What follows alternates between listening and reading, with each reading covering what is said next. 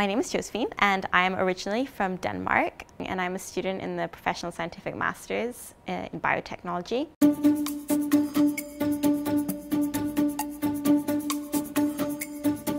I remember Googling the best biotechnology program in the US and up pops San Francisco as the largest biotechnology cluster in the world and up pops the Golden Gate Bridge, which is beautiful.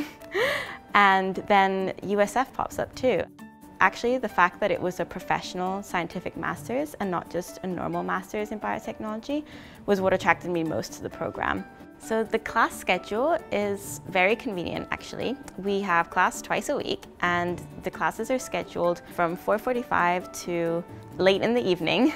And that enables me to actually do quite a lot of things. I can both be a part of the cross-country and track team and I can also do my part-time job as well as attend the networking hours in biotech. That's what's good about the program is that they provide loads of networking events and opportunities for you to meet employers. I had no idea that I could not just improve so much in terms of acquiring new lab skills and research skills, but also in terms of developing as a person.